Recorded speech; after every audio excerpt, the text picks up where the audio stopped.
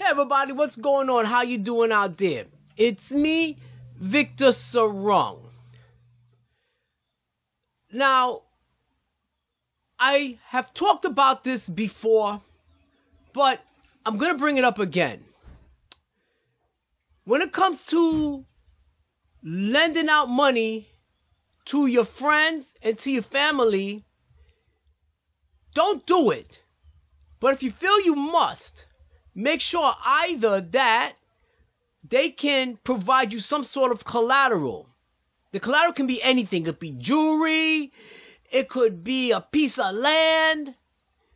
It could be gold.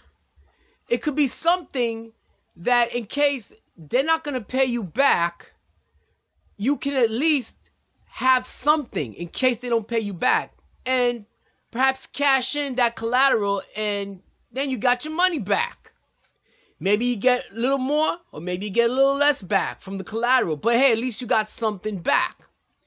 But all in all, do not lend money to friends and family unless it is a desperate situation. And what I mean by desperate situation, it could be a life and death situation.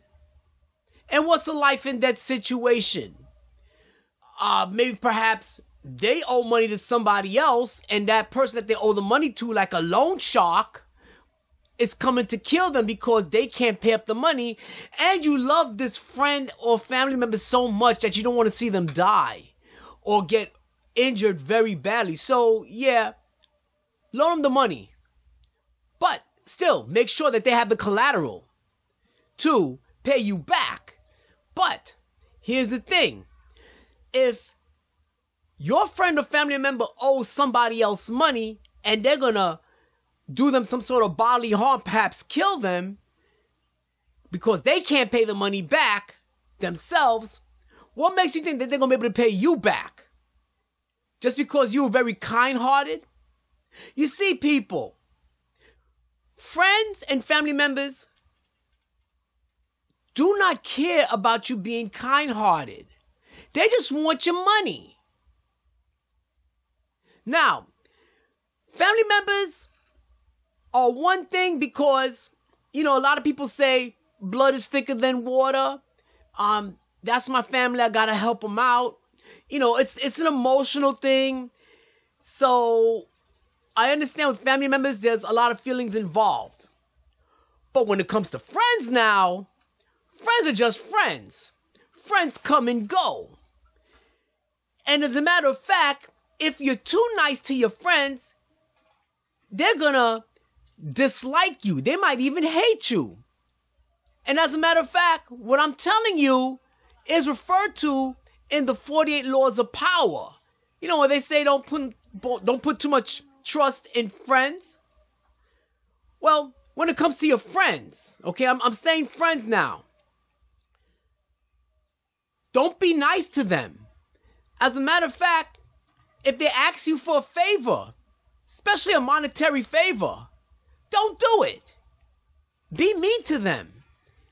If they don't want to be your friend, so what? You can always find another friend. Friends are very easy to find. There are like billions of people in this world. Here in America, there are millions of people in America, hundreds of millions of people in America.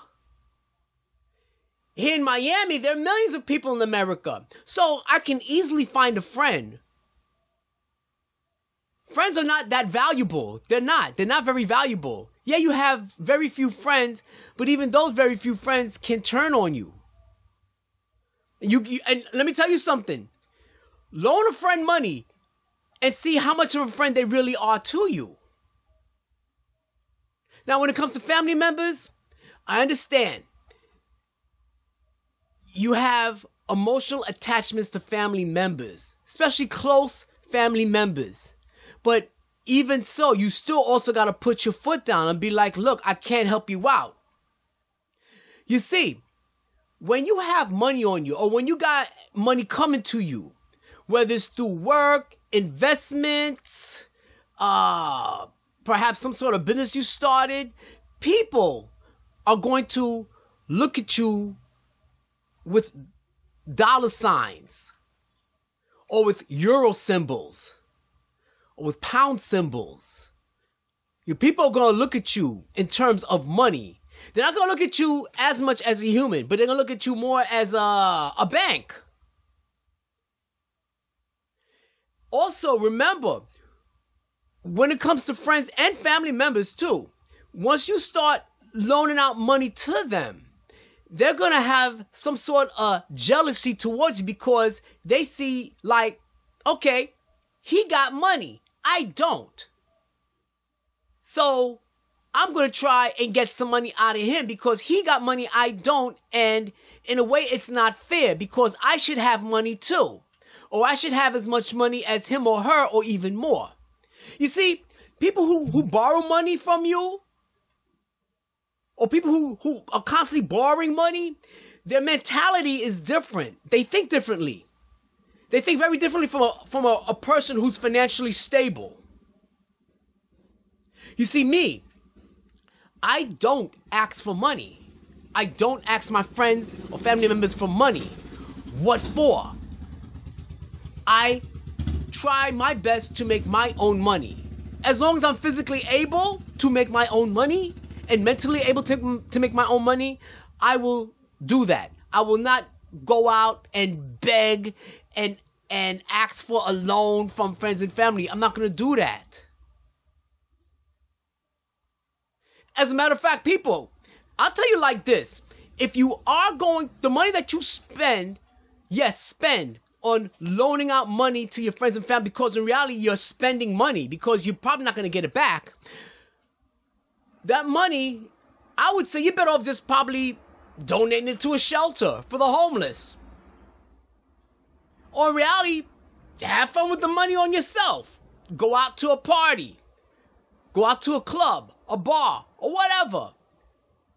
Because hey, if, if you're gonna like blow money on friends and family, you must just blow it on yourself. Or just keep the money. Just keep your money. Guard your money. Your money is very important. Stop loaning out money to people. If your friends and family members need to borrow money, they can go to a bank. They can apply for a personal loan. They can get a cash advance from a cash advance place. Let them do that. Let them struggle because you struggle to get your money. You work hard for your money. You had to use your brains and your brawn to get your money. Let them do the same. Anyway, people, it's me, Victor Serrao, and thank you for taking the time to listen to what I had to say.